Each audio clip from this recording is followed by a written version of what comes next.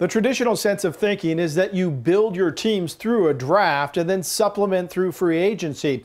The Raiders were able to make some key free agent signings that allowed them to use the draft to fill some specific needs for both short and long term. That's pretty efficient, Pretty my efficient. man. Pretty efficient, and especially when you put a touchdown on the board. Lincoln Kennedy knows the Raiders inside and out.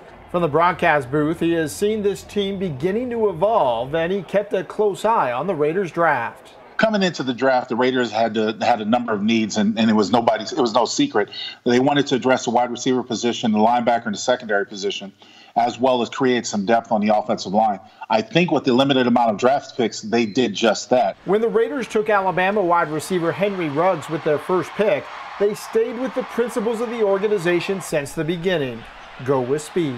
The late great Al Davis, may rest in heaven, uh, once told me that you can't teach speed, and that's exactly right. So the Raiders were in love with uh, Ruggs third for a long time, and and the, the truth of the matter is that because he's a burner, he can take the top off of defenses. Having a speedster will open things up, especially considering that Derek Carr had only 10 completions of 40 yards or more last season.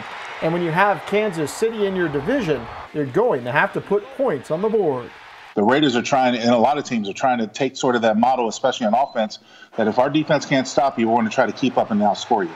We'll have more of my conversation with Lincoln Kennedy over the next couple of days, talking about culture, using the off-season virtual workout program, and whether the Raiders have put enough together to be a playoff contender. Kevin Bollinger, Fox 5 News Local, Las Vegas.